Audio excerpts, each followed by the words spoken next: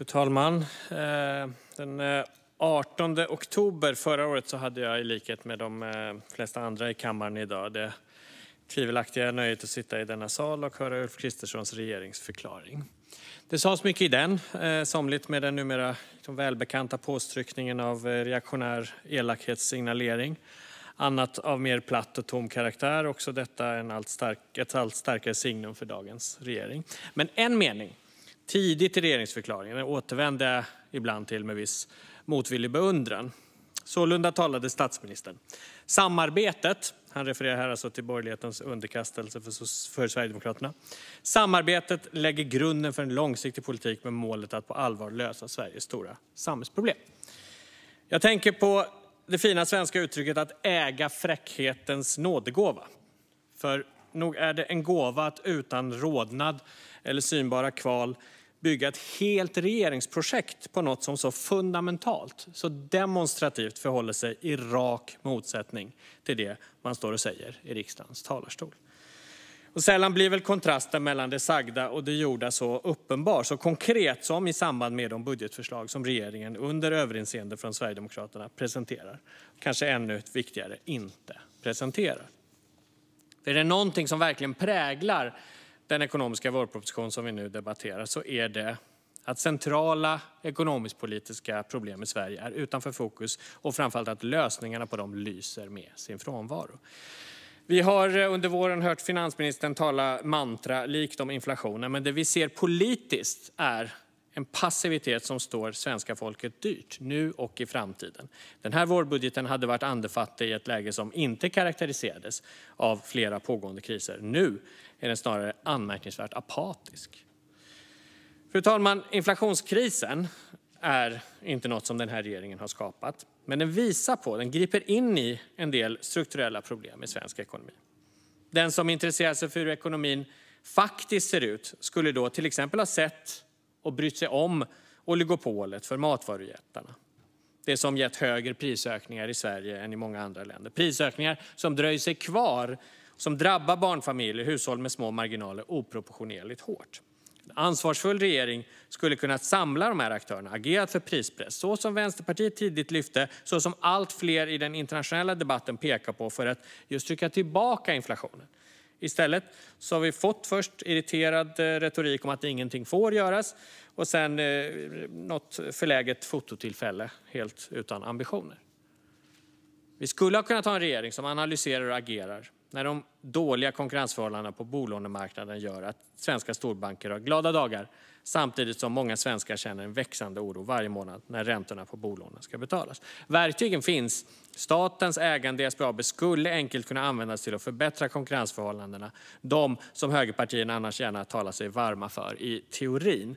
Vi vet att SBAB hade annorlunda formulerade direktiv och avkastningskrav tidigare, för drygt tio år sedan bara vi ser i statistiken att det hade en nedhållande effekt på övriga affärsbankers räntemarginaler. Ett sådant förslag lyftes också av Vänsterpartiet med stöd av S och MP i finansutskottet, men Sverigedemokraterna och stödpartierna i regeringen valde att ställa sig på bankdirektörernas sida i stället för att hjälpa svenskar tyngda av bolån. Eh, fru talman! Inte minst ser vi nu, som en direkt effekt av regeringens vägran att tillskjuta nödvändiga resurser, en pågående, för varje dag fördjupad välfärdskris i Sverige. Ansvaret vältrar SD och regeringen över på kommuner och regioner. Där finns ingen reell möjlighet att kompensera för den långvariga statliga underfinansieringen, för de feta sugrör som slussat och slussar skolpeng och vårdersättningar till kapitalägare, inte sällan med partibakgrund hos eller delad sommarstuga med de styrande. Och nu helt akut för tyngden från inflationen. Det är alltså inte så att pengarna inte finns. Det är helt enkelt de val som SD och M-regeringen har gjort. De 13 miljarder som gick åt till att sänka skatterna för höginkomsttagare är händelsevis i samma storleksordning som det regeringen valde att inte ge till Sveriges kommuner och regioner i höstens budget så att de åtminstone skulle ha kunnat behålla personaltätheten på samma nivå givet åldrande befolkning. Hur ser det ut framåt? Ja, den dynamiska duo som styr statsbudgeten nu, Oscar Sjöstedt och Elisabeth Svantesson, de har inga extra pengar i den här vårbudgeten. Dessutom inte ens något besked att komma med till kommuner och regioner som försöker planera. De ska förhandla lite sen, så får man se, är budskapet. Det enda som vi vet har remitterats som potentiell storsatsning i nästa års budget är skattesänkningar med närmast parodiskt gammelmoderat fördelningspolitik där miljonärer skulle få tusentals kronor varje månad.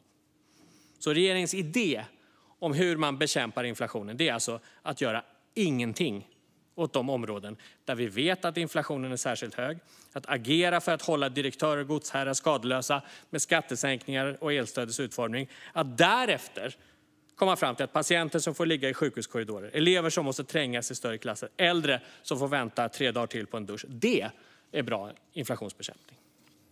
Jag önskar att detta var överdrifter och retoriskt vevande, men det är ju dessvärre inte det. Det är regeringspolitik i vårt Sverige. Och det är politik som vi som samhälle kommer behöva betala ett högt pris för, också långt senare. Därför att det är inte bara att knäppa med fingrarna och ta tillbaka folk som lämnar skolan, eller sjukvården eller äldreomsorgen. För att inte tala om vad försämrad utbildning kostar, slakten av socialtjänsten kostar. Det har, för att citera vice statsministerns ofrivilligt humoristiska valslogan, blivit dyrt att vara svensk. Men fru talman, regeringens eh, uppenbara misslyckande med att föra en långsiktig politik med målet att på allvar lösa Sveriges stora samhällsproblem går bortom det som handlar om inflationskrisen, hushållen, välfärden på kortare sikt. Det handlar om att tågtrafiken ska fungera, våra skolor ska vara inriktade på kunskap, klimatförändringar som varje dag förändrar förutsättningarna för välfärd och välstånd för människor på den här planeten. Och ja, eh, även om en del här inte verkar fått med sig det jag pratar alltså om samma planet som även Sverige finns på. Det här är då exempel på problem och utmaningar som de flesta utanför den marknadsfundamentalistiska tankebubblan begriper kräver samhällelig handling. Det går inte att hoppas på att någon glad entreprenör får feeling och driven av konsumentmakt drar järnvägsräls för framtiden. Det är uppenbart så att den här idén om att leka basar med järnvägsunderhållet har fått ödesdigra systemeffekter. Hos regeringen syns inget av detta. Inga analyser, ingen handling. Skolan, ett område där marknadiseringens problem är mer uppenbara, ännu mer uppenbara. Barns utbildning lämpar sig synnerligen dåligt att behandla som en skojig konsumtionsvara och skadorna är irreparabla. Det går inte att lämna in sin utbildning på lagning om man är missnöjd eller tro att det löser sig om man byter märke som om det var frågan om snabbmat eller underkläder. Gör regeringen något åt detta? Nej. Tvärtom är hela denna regeringskoalition skapad för att slå vakt om dessa lukrativa vinstuttag. Utan dem hade det inte funnits samma ekonomiska incitament att bjuda sverigedemokrater på konjak och in i den näringslivsgenererade värmen. Och ovanpå detta, eller ska vi säga under, vid sidan om, runt detta, klimatkrisen. Inga individuella konsumtionsval i världen kommer att ge oss industriell omställning. Stora vindkraftsparker till sjöss och till lands, kraftfullt utbyggd överföringskapacitet för el, realistisk och systematisk omvandling av fordonsflottan. Allt detta behövs. Inget av detta är prioriterat för regeringen. Det är skamligt och oansvarigt och det gör Sverige till ett land sämre positionerat att konkurrera på världsmarknaden. Och lite tragikomiskt är det ju att det sitter folk på runt regeringskansliet och liksom fantiserar om hur man kan byta ut delar av befolkningen. Eller kolorera om här och där i alla fall. Men det närliggande och mödosamma, det lämnas därhän. Hur ska tågunderhållet börja fungera? Vi håller tummarna. Hur ska nyrekryteringen till den organiserade brottsligheten stoppas? Genom symbolisk repression, unket misstänkliggörande, inget mer. Hur ska skolsystemet kunna förändras när systemet är riggat för att producera just ökad ojämlikhet och prioritera profit före kunskaper? Tja, några till intet förpliktigande förmaningar från skolministern samt ännu någon fräsig idé om tillsyn. Sånt tär på sömmarna i samhällsdebatten. Vi har den senaste tiden hört en del företrädare för den här blåbruna alliansen uttrycka oro för sagostunder med utklädda artister.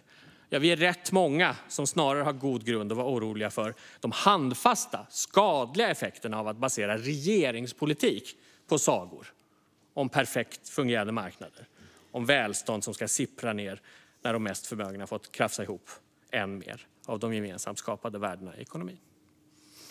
Fru talman! Den vårbudgetmotion som Vänsterpartiet lagt på riksdagens bord, som jag nu passar på att yrka bifall till, det blir reservation nummer två, den skulle innebära flera viktiga satsningar, akuta satsningar för trygghet och ansvar i krisen. Det handlar om att införa ett krisbarnbidrag finansierat med att pausa rutbidragen för hushållstjänster. Det handlar om skolfrukost i hela landet, ett bra sätt att lätta på bördorna i ett läge när hushållen är mycket pressade. Det handlar om att ha samma regler för karensersättningen som vi hade under pandemin.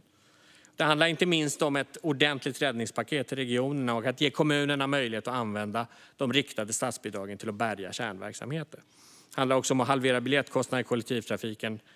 Det är både viktigt för hushållen på kort sikt och för klimatomställningen på längre sikt. Det handlar om att uppmärksamma och göra någonting åt den märkliga situation som eh, folk födda 1957 har hamnat i med den eh, politik som regeringen har stått bakom när det gäller skatterna. Men framför allt handlar det om en annan inriktning på politiken, en som ser att det förtroende, välfärds och kunskapskapital som mödosamt över flera decennier har byggts upp i vårt land nu försnillas i rask takt.